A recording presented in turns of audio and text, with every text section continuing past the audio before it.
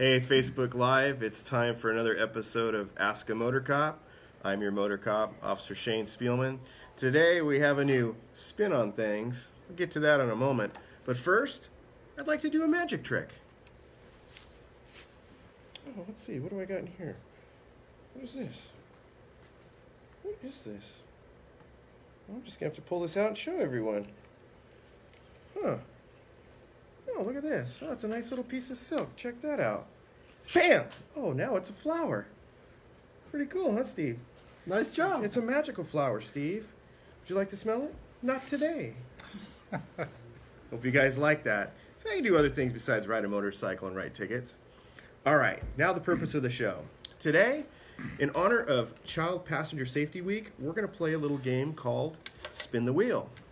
So I have my uh, compadres up here, and all of us are trained child uh, passenger safety technicians. So what that means is we inspect child car seats and make sure that they're installed properly.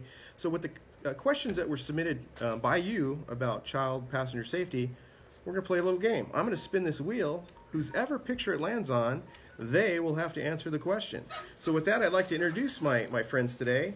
On my far left here, I have Motor Officer Oscar Ione. Hi.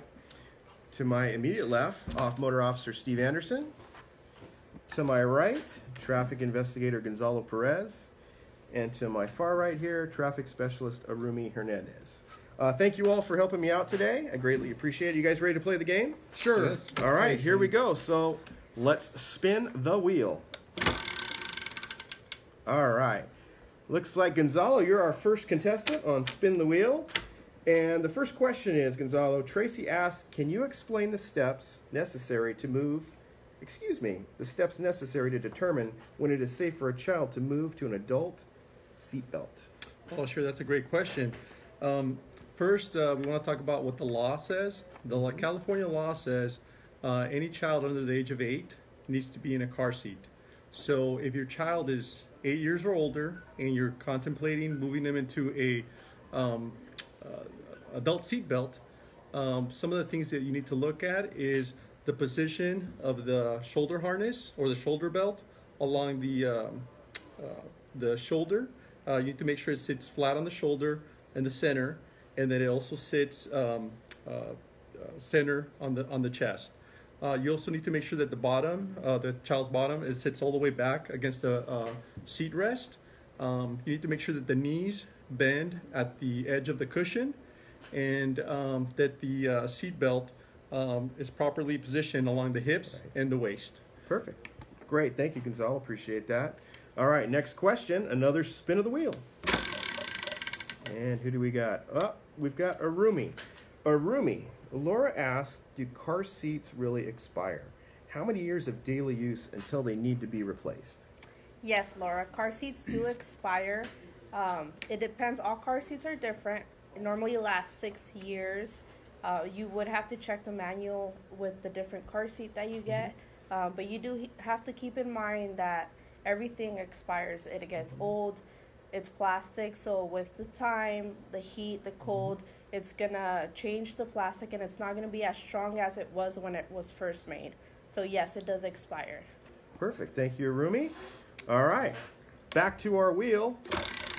And our next victim is Steve. Steve, you got the next question. And Johnny asked, which seat in the car is the safest place for the child's car seat?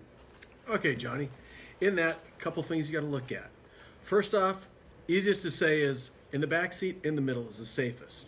But with that, you also have to think about what does the manufacturer say. Pull out the car manual and look at it. Sometimes it's not the best place to put it. Sometimes the seatbelt's not may not be right. Also check the manual of the car seat. You got to make sure they match. And if they you can place it in the middle back seat, that's the safest place to put it. But make sure you check with the manufacturer to make sure that's where it should be. Perfect. Thank you, Steve. All right. And here we go again. And you know what? Let's have Oscar answer a question. Oscar, uh, the next question is from Christina. And is it true that I have to replace my child's car seat after being in an accident? Uh, Christina, yes. Uh, California Insurance Code provides that uh, insurance companies need to replace your car seat if it's been involved in an accident and the child was using that seat. Uh, Oscar, just to follow up on that, why would it be good to re- actually replace a car seat that's been used in a or that was involved in a traffic collision?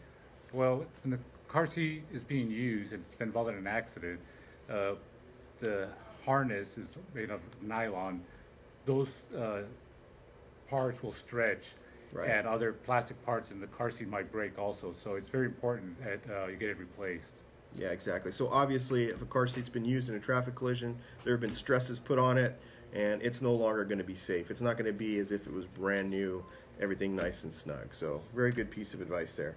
All right, we have one more question. Who's going to be our victim? Spin of the wheel. Back to Steve. Steve, last question. Lisa asks, would you recommend a used or hand-me-down car seat? Well, Lisa, goes back to what the question just before. Do you know the history of it?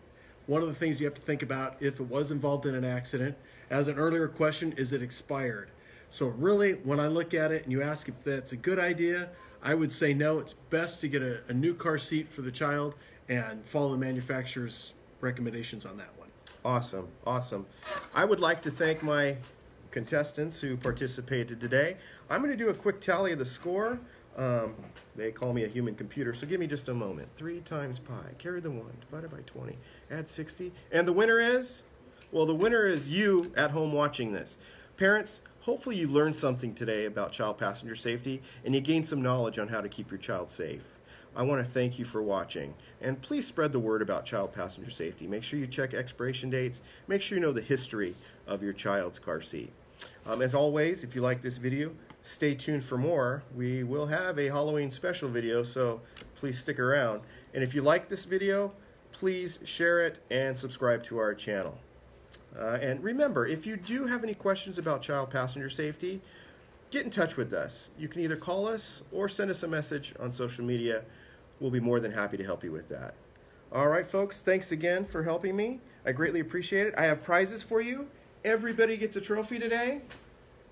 Let me just get these out. Don't all jump in at once. I'm out. For the donut, Shane. I get the green one.